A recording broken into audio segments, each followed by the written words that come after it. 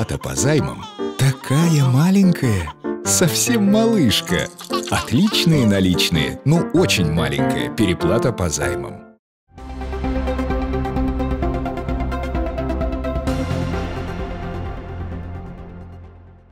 Рабочая неделя, которая начнется в понедельник, 18 февраля, завершится праздником. Об этом напомнили в Роструде. День защитника Отечества 23 февраля выпадает на субботу, а предшествует ему пятница, сокращенный рабочий день. Люди, работающие 5 дней в неделю по 8 часов в день, смогут уйти домой на час раньше. Несмотря на то, что праздничный день 23 февраля выпадает на субботу, отдыхать в честь него будем не 3 дня, а 2. Дело в том, что по закону, если праздничный день выпадает на субботу или воскресенье, дополнительно дополнительный выходной переносится на другой день. В этом году выходной с субботы 23 февраля перенесен не на понедельник 25 февраля, а на 10 мая. Благодаря этому в честь Дня Победы будем отдыхать 4 дня подряд, с 9 по 12 мая. В марте отдохнем 3 дня, с 8 по 10 марта, а на 1 мая 5 дней, с 1 по 5 мая. Формирование комфортной городской среды. Завершен первый этап отбора проектов для благоустройства территорий на 2019 год. В текущем году планируется обустроить 12 дворовых территорий и 15 общественных территорий. На эти цели из федерального бюджета защищены более 96 миллионов рублей. Из регионального бюджета направят около 975 тысяч рублей. Республиканской комиссией принято решение изменить порядок отбора проектов для благоустройства территорий. Дизайн проекта муниципальных образований проходит тщательный отбор в два этапа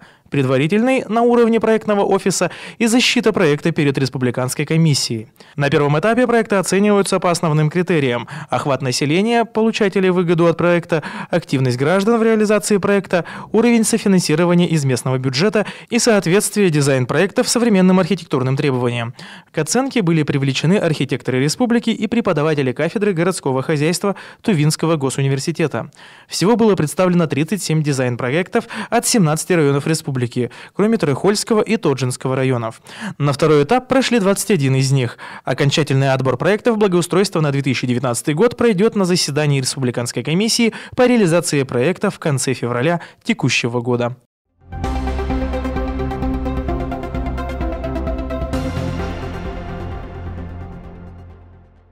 Тува завершила 2018 год с положительной динамикой по основным макроэкономическим показателям. По информации Министерства экономики региона, реальный сектор региональной экономики хоть и немного сбавил обороты роста, но все же оставался в заметном плюсе. Специалисты говорят, в частности, об увеличении объемов промышленного производства. Увеличение произошло, как и в предыдущие годы, за счет добычи полезных ископаемых и прежде всего угля. Хорошим был год и в сельском хозяйстве, где было произведено продукции в общей сложности более чем на 6 миллионов рублей. В Минэкономике отмечают увеличение численности овец и коз. В жилищном строительстве, несмотря на перенос ряда объектов на этот год, республике удалось превзойти уровень предыдущего 2017 года. Всего за год в Туве было введено около 109 тысяч квадратных метров жилья. Несколько ухудшились в 2018 году традиционно высокие позиции Тувы в области демографии. Глава республики поручил Министерству экономики до конца февраля подготовить уточненные варианты итогов социально-экономического развития региона в 2018 2018 году. В марте правительство Тувы рассмотрит и утвердит его в виде постановления. И о курсах валют. Доллар на сегодня 66 рублей 54 копейки, евро 75 рублей 5 копеек.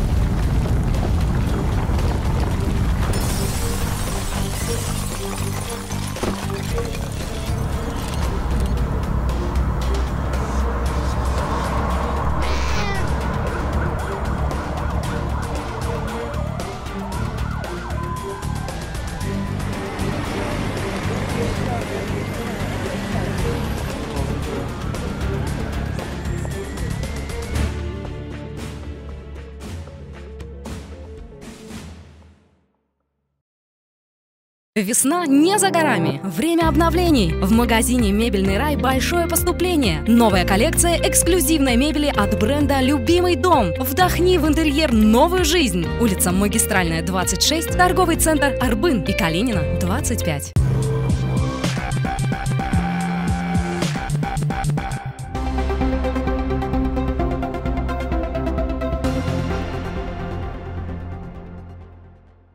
В Кызыльском районе инспекторы ДПС изъяли наркотики в крупном размере.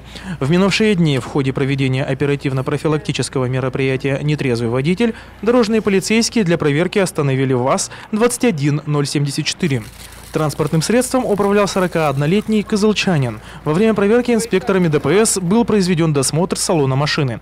Между передними пассажирскими сиденьями сотрудники полиции обнаружили черный пакет, внутри которого находилось вещество растительного происхождения с характерными признаками наркотического. Проведенная экспертиза подтвердила, что изъятое вещество является марихуаной общим весом более 177 граммов. Сотрудники полиции установили, что наркотическое вещество принадлежит 45-летнему пассажиру транспортного средства. Задержанный пояснил, что изготовил вещество для собственного употребления. Ранее он уже привлекался к уголовной ответственности за аналогичное преступление. По данному факту возбуждено уголовное дело. Если вина мужчины будет доказана, ему грозит лишение свободы до 10 лет со штрафом в размере 500 тысяч рублей.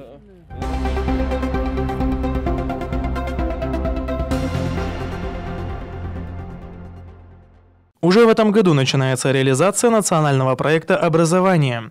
Он затронет 10 направлений и охватит период с 2019 по 2024 год. Нацпроект, общий бюджет которого составит почти 784 миллиарда рублей, должен обеспечить глобальную конкурентоспособность российского образования, вхождение России в число 10 ведущих стран по качеству общего образования, а также воспитание гармонично развитой и социально ответственной личности на основе духовно-нравственных ценностей народов России исторических и национально-культурных традиций. Из федеральных проектов больше всего средств выделят проекту «Современная школа», который нацелен на увеличение количества мест в школах и полную ликвидацию обучения в третью смену. Кроме того, в рамках нацпроекта планируется обновить материально-техническую базу в средних школах, ввести в строй новые школы в сельской местности, внедрить во всех регионах модель цифровой образовательной среды, создать во всех 85 субъектах страны центры выявления, поддержки и развития способностей у детей по примеру образовательного центра «Сириус». Также внедрить во всех регионах программы профобучения по наиболее востребованным профессиям на уровне соответствующему WorldSkills.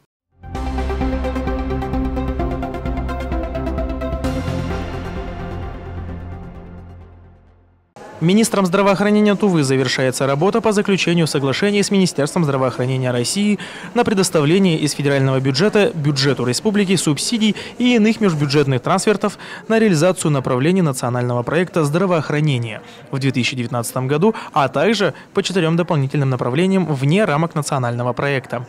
Согласованы и подписаны 8 соглашений. В числе пакета документов на реализацию национального проекта здравоохранения заключены соглашения на субсидирование расходов на вакцинацию старшего поколения из групп риска против пневмококковой инфекции, развитие материально-технической базы детских поликлиник, на авиационные работы по оказанию экстренной медицинской помощи и создание единого цифрового контура здравоохранения. Проводится работа по заключению соглашений на переоснащение медицинских организаций по оказанию медпомощи больным онкологическим онкологическими заболеваниями, региональных сосудистых центров и отделений. Всего на текущий год будет заключено 10 соглашений между правительством региона и Минздравом России.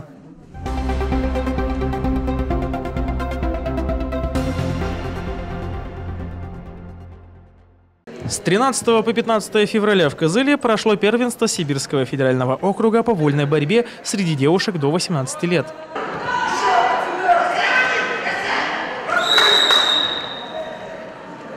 Спортивный комплекс «Херел» собрал более 120 спортсменов практически со всех регионов Сибири. Республика Алтай и Хакасия, Алтайского и Красноярского краев, Иркутской, Кемеровской, Новосибирской, Омской и Томской областей. Туву представили 30 лучших юных спортсменок по спортивной борьбе. Из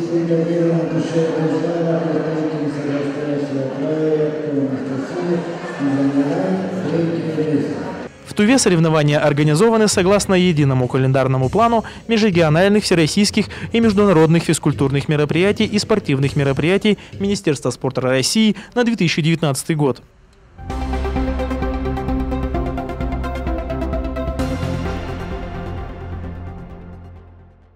Чего хочет каждая женщина? Быть красивой, модной и роскошно одетой. За окном морозная зима, тогда спешите на знаменитую Кировскую выставку продажу меховых изделий «Знатные меха», где вы точно сможете утолить свою жажду моды. Да-да, вы не ослышались. Известная и зарекомендовавшая себя ярмарка меха по многочисленным просьбам жителей и гостей города продолжает свою работу в Кызыле, торговый дом «Меридиан». Поэтому, если вы мечтаете о недорогой стильной шубке из натурального качественного меха, вам точно сюда. Ведь цены здесь начинаются, внимание, от 19 тысяч рублей. Тысячи моделей норковых и мутоновых шуб, включая самые трендовые новинки. А шикарные головные уборы впечатлят даже самых искушенных покупателей. Разнообразной цветовой палитры и широким размерным рядом от 38 до 70 размера. Уж говорить, знатные меха знают, чем порадовать. Кстати, совершить покупку на ярмарке «Знатные меха» также по-прежнему просто и легко. Если необходимой суммы наличными нет при себе, вы всегда можете оплатить покупку картой, оформить кредит на оптимальных условиях. Шикарно? Конечно, да. Быть стильной теперь просто. Выставка меховых изделий «Знатные меха» располагается улица Ленина, дом 50, торговый дом «Меридиан». Ежедневно с 10 утра и до 19 вечера.